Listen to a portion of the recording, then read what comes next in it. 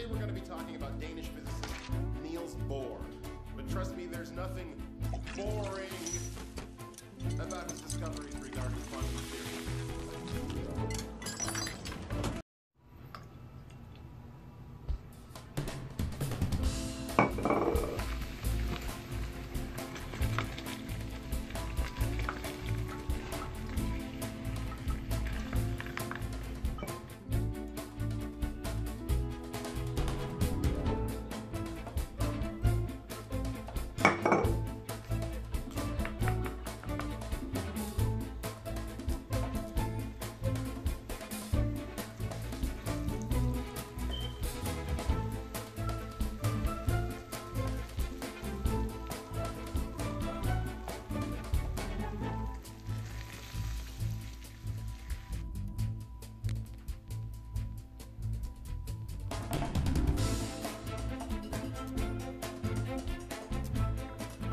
Thank you.